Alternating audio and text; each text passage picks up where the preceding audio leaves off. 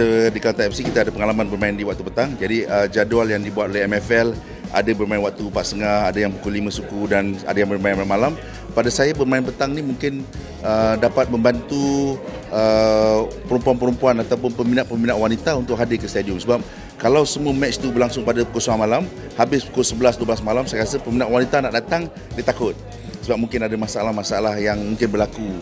You tahulah malam kan. Okay, jadi kalau petang buat, mungkin dia akan dapat mengelakkan unsur-unsur yang negatif. Because kalau you buat petang, dia boleh buat boleh buat, buat anak-anak yang kecil pun mungkin boleh bawa. Jadi pada saya sebenarnya bila anak-anak muda yang datang ke stadium digalakkan, dia sebenarnya memberi impak 5 tahun, 10 tahun, 20 tahun ke depan sebab anak-anak ini ada satu subconscious mind atau memori untuk mereka meminati apa yang ayah mereka minat ketika muda.